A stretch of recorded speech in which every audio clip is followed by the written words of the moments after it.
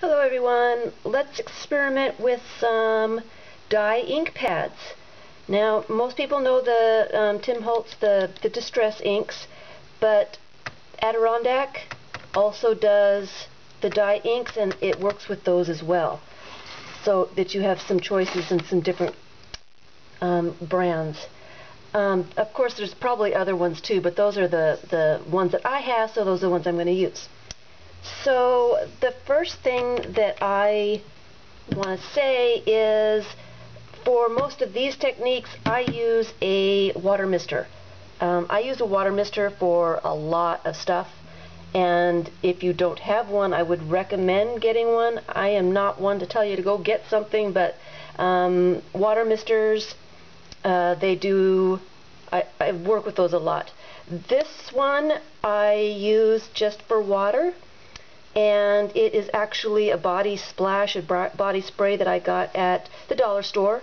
It works perfectly fine for what I'm doing with it. Um, don't get uh, a regular spray bottle. The it doesn't do a fine mist. Um, it'll just leave water droplets and, and it won't do the same kind of thing. So um, don't use one of those. Um, it's the water mister and I will show you why.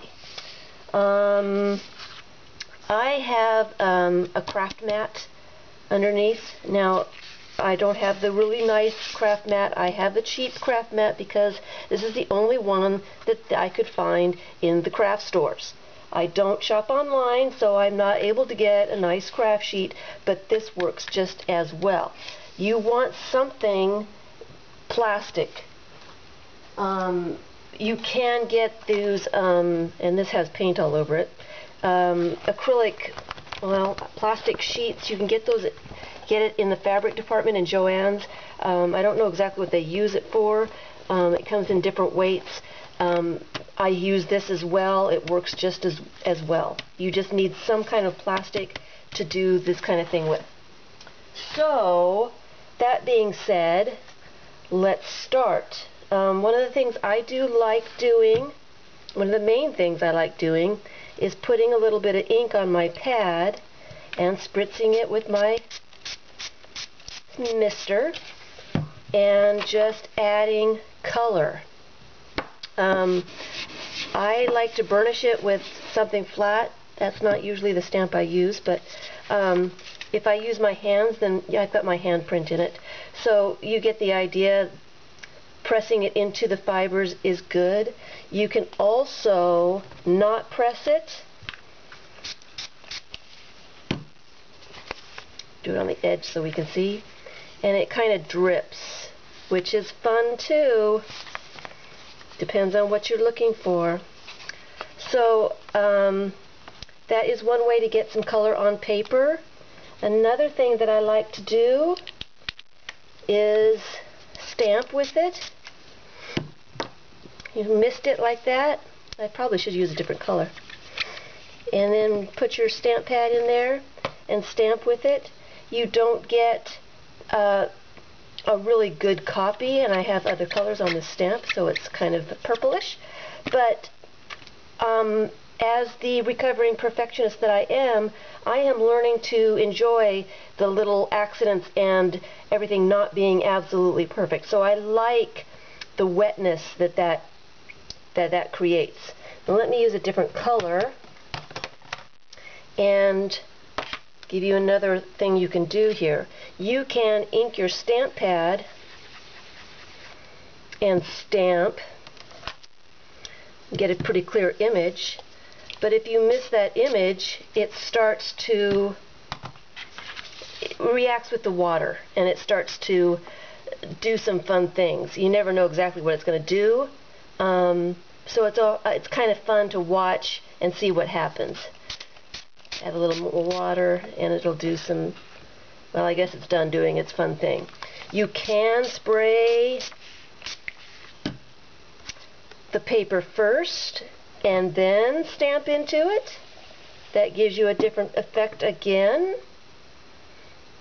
So this is playing. You can also ink up your stamp pad and spritz the stamp to get various degrees of runniness. And you can always tilt your paper and watch the inks move. If you get them really wet, it's kind of interesting to see what kind of things you can can do.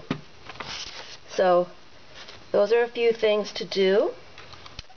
Um, let me put that away. Another thing that I like to ink and play with are fun foams.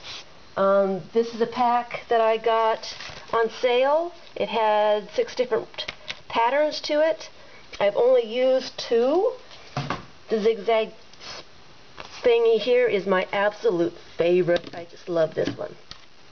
So what I do is I ink it like I would anything else. And you can actually just stamp it that way. And you get that clear, clear lines. Or you can stamp it or ink it, spritz it a little bit, not too much, and do it again. And this time your lines are a little bit fuzzier. Well, they're not quite so fuzzy. I guess I didn't spritz it enough. Let's try a different color. Let's try a real different color. So.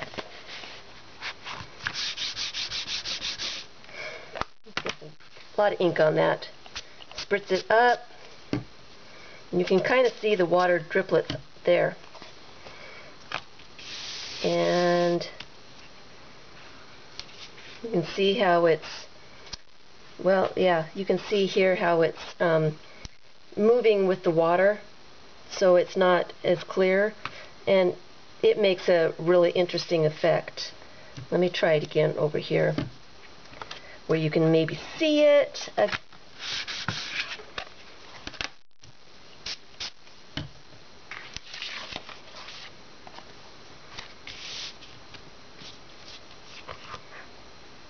well, it didn't move very well. So spritzing it, you can see it actually starts, um, and I don't know what the word is for it, but it starts to, um, the lines aren't as crisp. Now, there's a lot of ink still left on here, and what I like to do is keep spritzing it until it drips. And I don't like to waste anything, so I do that a lot. And I will let that just dry all by itself, and it usually comes up with some pretty neat, pretty neat um, effects. So, and I keep stamping until I can't stamp anymore. So that is another thing you can do. Let me get these out of the way so they can start drying. Okay, what else is on my list here? There's another technique that's out there right now. In this piece of paper. And it is called, let me wipe this up ink smooshing. Very technical. It seems to be all the rage right now. There's a bunch of videos on YouTube. If you uh, search for ink smooshing, this is what you're going to come up with. You get a, this is a, it's just a clear piece of plastic. It is a piece of packaging that came, I don't even know what came inside of it, but it was the cover so that you could see what was inside. Um, this is what we do take a little bit of the ink and smush it right on there. Spritz it with some water. I'm going to spritz it twice. And what you do is you turn it around and get it towards your paper and you can see exactly where it goes on your paper and then you smoosh it to the paper. That one I got quite a bit of water to so it's doing a lot of different stuff. As it dries, it kind of gets some hard edges. If you want it not to be to be a little darker, to be a little smooshier, just spritz it a little bit. it'll give you hard lines when you smush. So it gives you different effects. I must have too much water on this. I should have wiped off my my smusher as well. Try it again. You can start to see some of the harder lines with a little less water. Do it up here. But it gives you some interesting effects. You start adding different colors. Um, you can add um,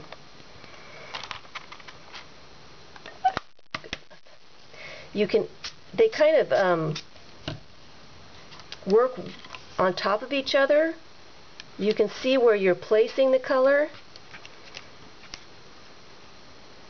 It's kind of unpredictable which I kind of like but it really does end up with a really interesting effect. So that is a great one to experiment with. Um, yeah been having a lot of fun smushing stuff.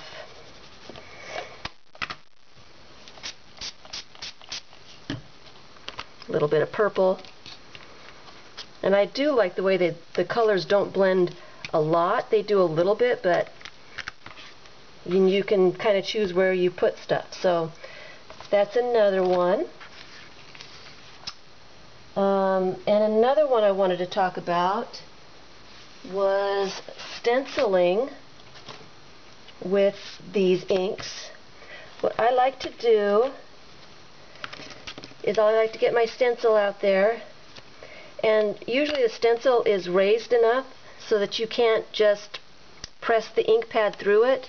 What I like to do is put ink on the stencil itself and take a I didn't moisten my brush take a moist brush and brush it off the stencil.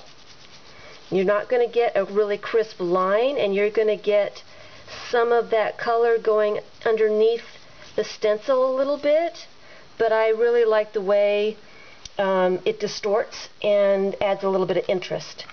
So that is one way to do that. Um, did I do all of it? Was that as fast? We did that pretty fast. Oh, there's one more. Um, oh, here, I just wanted to show you uh, one of the dried smooshings that I had done. It turns out pretty cool after the fact. And also, um, when you do something like that and add just plain droplets of water, um, it distorts also. And it doesn't do it right away. I had done this uh, late last night and had just dropped some water on and it really didn't do a whole lot and then I just walked away and this morning I came back and there was all these water droplets and I just love the effect that it did. Another thing that you can do is let me use a different color, um, one that I haven't used yet. This is acrylic ink on the bottom. It's all dry. Um, and I'm going to smush some ink right there on top of it. And I am going to add spritz some water on top, top of it. The acrylic paint acts as kind of a resist. So the paint or the inks, when they're all nice and wet, they will actually move. And you can make the paint drips go kind of where you want them to go and it is an unexpected kind of thing and I let the ink go someplace and then I let it dry naturally and you get some interesting effects that way. So that's the beginning of some distress ink fun. Hope you enjoy.